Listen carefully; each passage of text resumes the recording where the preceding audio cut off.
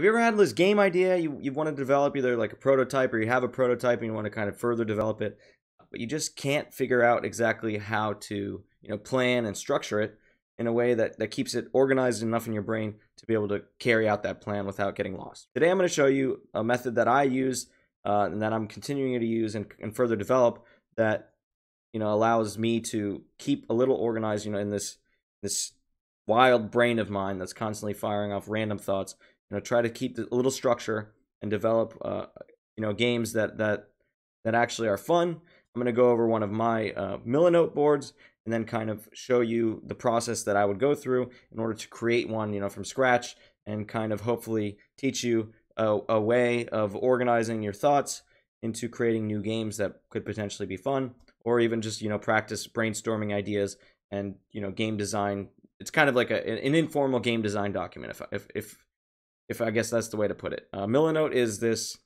program online. It's an app uh, that you can use to you know visualize your projects. You can actually you know have task lists and everything like that. It's it's it's pretty cool. I learned about it from Jason Weimann, uh, Unity 3D College.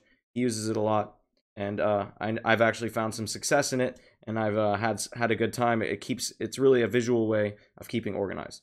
So here's a Milanote board that I've been working on um, for my game Ragdoll Racer. Uh, you can check out the video for that. I'll put a link right up here. Uh, it's basically I started out with a prototype, you know, very simple prototype using Asset Store, you know, doc uh, Asset Store assets, you know, the racetrack and everything. And I thought, you know, the gameplay could be fun. Very small, very like very very tiny prototype, just testing out like would I enjoy the gameplay. And now I want to go a little further. And so with this, I'm going to create a small vertical slice of the game and just you know kind of see where I'm at. So uh, going over this, I have basically on, on the left side, it's a visual, like this is basically what you would put into a game design document in a way, uh, just to kind of show you like, you know, the initial pitch of what it would be. Um, but I like the way that Milanote uses this kind of layout where you can always add more, you can take it away, you can reorganize it, drag stuff around. It's extremely cool. Um, so going over this, you know, I picked a couple games that I that I wanted to be similar like. I picked this because I like the way the UI looked. Um, but obviously, it's like a Mario Kart style game with Mario Kart items. So that's why this is there. Um, it lets me lay out, you know, different ideas and I can compare them side by side. So I have some character design ideas.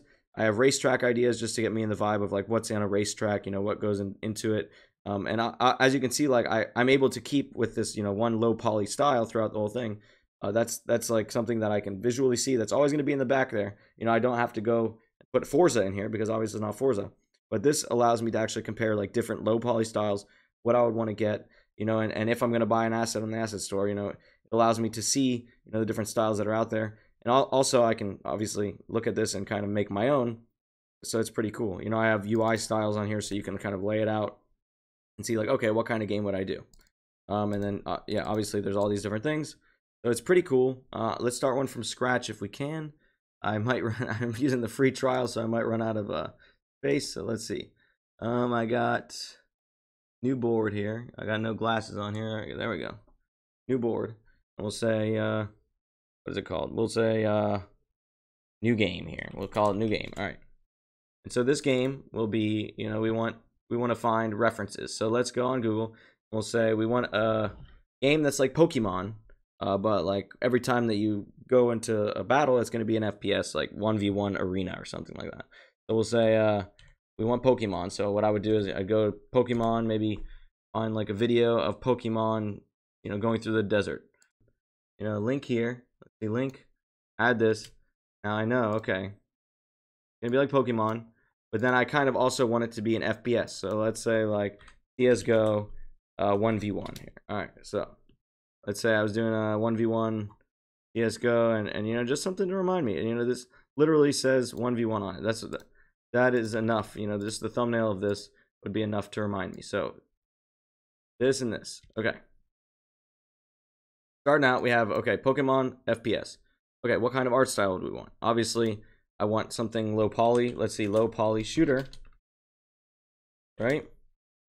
And uh, we'll see what there is. We want to go in there. All right, we have like literally we can just look at this we can see okay i have i have i have this do you like this style you know I don't know, but I really I do like this and this, you know, and I think we could probably find some assets for it. So what I would do is I just you know open it up and just put it in like this is a uh, make a new little uh column. We'll make a column here. We'll say, you know, art styles. And you keep it here. You know, let's say uh, we want this, and you know, let's go here. We'll just literally add a link. and go ahead and, and pick another one. So let's see like something like, I don't like that, but I like this. You know, and so let's go here. All right, and then we're not going to go crazy with it, but obviously you understand that. All right, and then beyond that, you know, when it comes to games, you forget other things. Like what, we want a color scheme, right? So let's say we got, uh, let's go to column. We'll say, uh, you know, colors. And you can go here and you can say, okay, uh, go look at color palette uh, warm. You know, we want warm or we want, we want cool.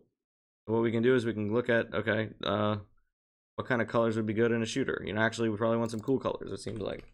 The cool ones seem nicer. So we go and we say, okay, um, yeah, I'm not really big at, I'm not really good at colors, but I mean, if I would do it, I would be like, okay, I can add this one and add a link and see it.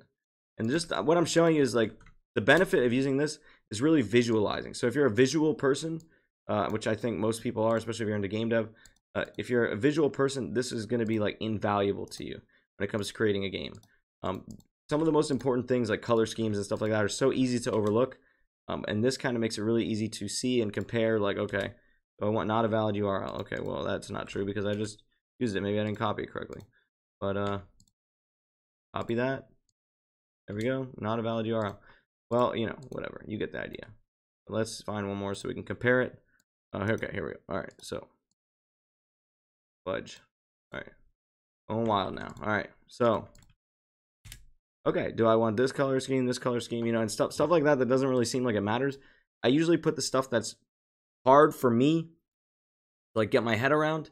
I would put on a board like this and keep myself, you know, engaged in the stuff that I find too difficult. That kind of makes me quit in the in the long run. Um, and so I can kind of marinate on this stuff. Like, okay, which one is different. You know, they basically look the same to me. Uh, maybe not to you, but like they're basically the same. So I'd have to think, okay, I'll go back to this. You know, what else would I need in, in it? I would maybe pick like you know a column for guns or something like that. So I'd be like, okay, uh, guns. You know, and then you say, okay, different kinds of guns that we can have would be like, I don't know, uh, uh, low poly guns. And we go here, we say, okay, all right, literally, I mean, I could just go in here and be like, okay, well, that would be cool to have in here.